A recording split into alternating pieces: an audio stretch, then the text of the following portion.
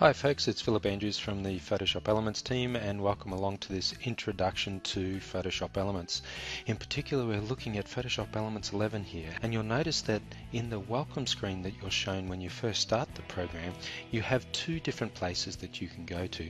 The Organizer workspace which is the place that you manage your and file and sort all of your images and the Photo Editor workspace where you edit, enhance and share your photos. So let's jump into the Organizer to start with and see what we can do.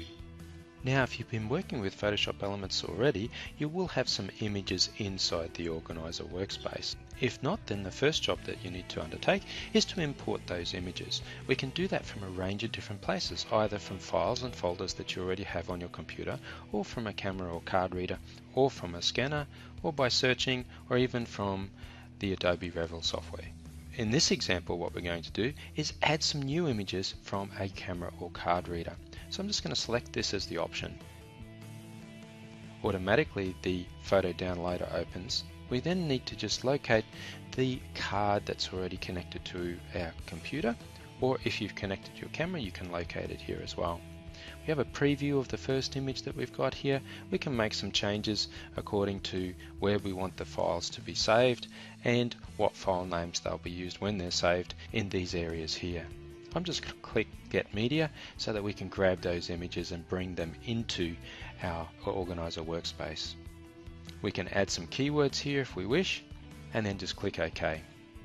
Automatically the new images that we've imported are placed front and center in the middle of the workspace. We can add these images to an album and I've got one created here called Travel. I'm going to click on the first and hold down shift and click on the last image, just drag them across and drop them into the travel album. Using an album is helpful because it means that we can easily get back to the images that we've just imported.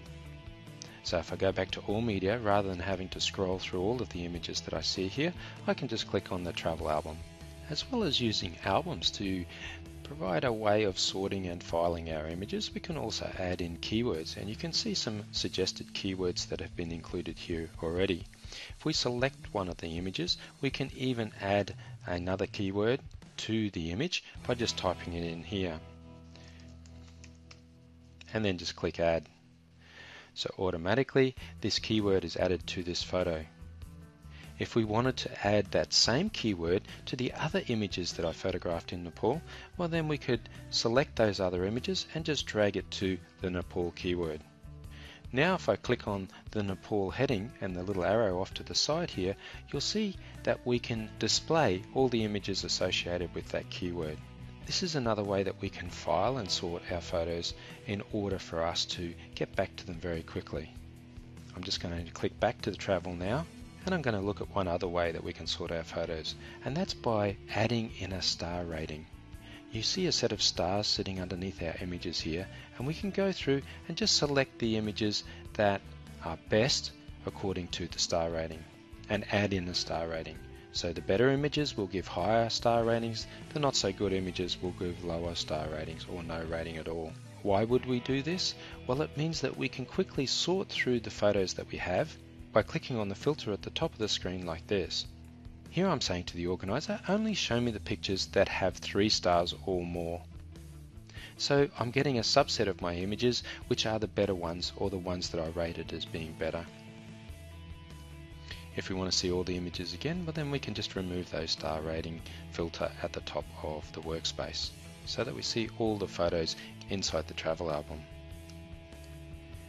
Now let's look at how we can quickly enhance the photo and then share it with our friends and family. So I'm going to select this photo here, double click on it so that we see the full size. We can add a caption, photos on the street in Nepal and then we can enhance the image. So with the image still selected we go down and choose Instant Fix at the bottom right hand corner of the workspace. You see we've got several different features here that we can use to adjust contrast for instance. If I just click here, automatically the contrast is adjusted. We can add some sharpness to the image by just clicking this item.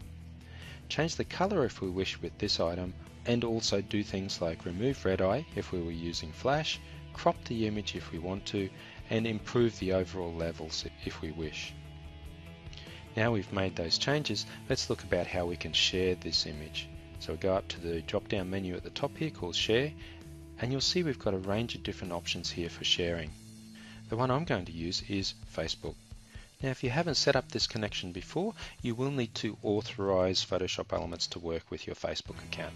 If you've already set it up, then you'll come through to this screen. Here I can upload the photos to a new album if I wish. I can nominate who's going to see my pictures and indicate the quality of the images that I will upload. So rather than create a new album, I'm going to select one that I already have and I'm going to call it On the Road. That's all set now. I'm just going to click upload and the files will be automatically uploaded to my Facebook page and posted there.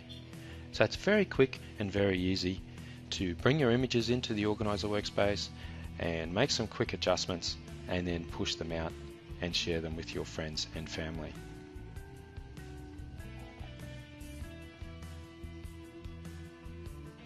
So let's just go and visit the Facebook page now to check out the results.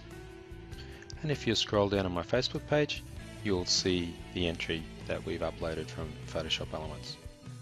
What if we want to take our editing just a little bit further and do some more sophisticated enhancement? Well, remember I said that Photoshop Elements has two different workspaces, the Organizer workspace, which we're looking at here, and the Editor workspace as well. So with this image still selected, let's now go down to the button at the bottom here which says Editor.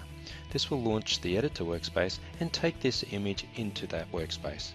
There we can make some more sophisticated changes to our picture. So we're in the Editor workspace now. We've got three different modes that we can work with, Quick, Guided and Expert, and we can make changes to our image using those different modes and then save back to the organizer where we can quickly share our images and the changes that we've made.